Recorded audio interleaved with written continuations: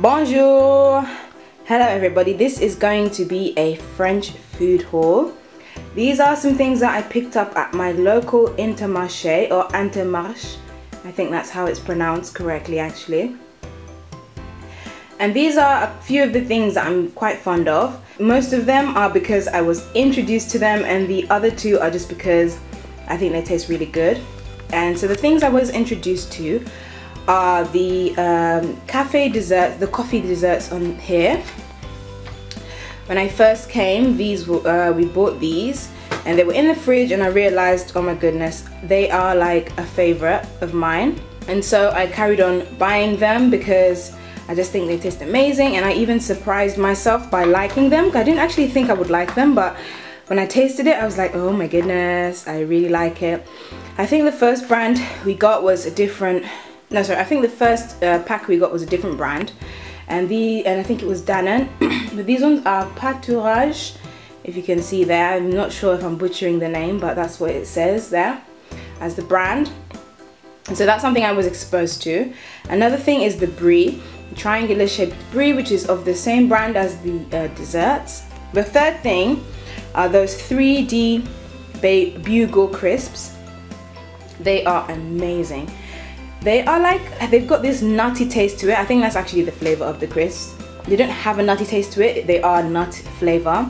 So I think it's like, um, is it monkey nut? I'm not sure exactly, but you can see the picture of the nut on the packaging. So you can just uh, tell me exactly what it is. I think it's peanut. I think it's peanut, yeah. And then the other thing are these Trésor uh, cereals. Now I was introduced to this, I don't typically buy kind of like junk food cereal. I usually have porridge or something uh, like uh, bran flakes or just something a bit more serious. But these are like quite a fun cereal and um, the kids eat them like for breakfast and I tried them one day and I literally loved them, love, love, love them. I think the British version is actually called Krave. So yeah, I kind of just recognized the image from all the adverts everywhere, like on Facebook, just Krave, Krave adverts everywhere. Um, so I looked it up and I realized, and I, sorry, and I learned that actually Trésor is the French version of Krave. So those are the four things that I was introduced to. Trésor the Bugle Crisps, Brie, even though I've tasted Brie before, and then of course the cafe, the coffee desserts here. And the other two things that I just knew that I would like are, you know, the whole wheat bread or baguette, which is quite long. um, but you know, it's so nice that you can literally finish the whole thing in a day. Um, I don't tend to do that, but it's possible, I could do it. And so that's that. They literally just give it to you in a piece of, they literally just give it to you in a little piece of paper and you just carry it. Um, so it's a good idea to go with um, a shopping bag.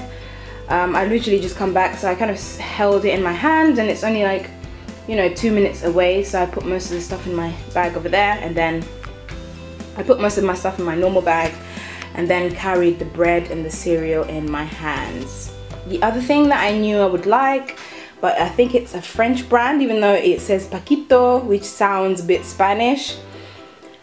Um, this is orange juice. I prefer the one with uh, the pulp. This one is without pulp, so it says sans pulp, pulp. My French accent is just not getting better, is it? Um, yeah, so it's without pulp, um, but it's actually about 42 cents more expensive. So I just went for this one, which is 180, 1 euro and 80 cents for one liter. And so those are the two things that I just knew I would like um, the bread and the orange juice and the rest of the things are the things that I've kind of been exposed to over the past uh, four weeks. And that is my mini haul. Um, over there is a packet of um, something that I've already eaten, which was just a croissant. And the croissant tasted just like any other croissant that I've ever tasted um, from a, you know, any other fresh croissant that I've ever tasted. Because Inter Intermarché, um, they don't bake, I think they use the same kind of technique as um, any other supermarket would you know it's frozen and they just bake it in the oven so it really just tasted the same it's not it's not like a, you know fresh bakery um, croissant um, but still really good. Um, what else? Okay, so I'm going to tell you the prices of this stuff. You can let me know whether you think it's reasonable or not. And yeah, that will be it. So this is my receipt.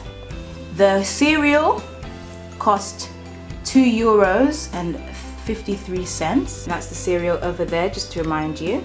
Uh, Bugle crisps cost 83 cents. These are the Bugle crisps and how many grams are they? I think they're about 85 grams. The uh, brie cost 1 euro and 11 cents. That's the brie over there and it is, how many grams is that? 200 grams. Uh, the coffee dessert, what? What? I always thought they were 94 cents. Yeah, so the coffee desserts cost 1 euro and 2 cents. The Paquito orange juice costs 1 euro 80 cents. And that is the orange juice. That is what I bought. Oh, uh, basically they didn't give me a receipt for the bread. But it cost, I think, uh, I paid, I remember I paid 156. Oh, I can't remember. I think it cost about 89 cents, possibly more. Um, the usual, the one that's just without cereal in it is usually 89 cents. I think because this one has like some cereal in it, cereals, I think it costs a little bit more, but not many, but not much more, just by like a few cents. I think everything came up to about just over 8 euros. That is an expensive cereal. For the one kilo, it cost about six or seven euros. It's like very expensive. But you know, I just thought this is my last day here. I'm just gonna have some cereal and I, I really like it so yeah you can also get the hazelnut version of them as well and then some other flavors but yeah that has been my Intermarché haul um, thank you so much for watching please do subscribe. Links will be below and I will see you in my next video. Bye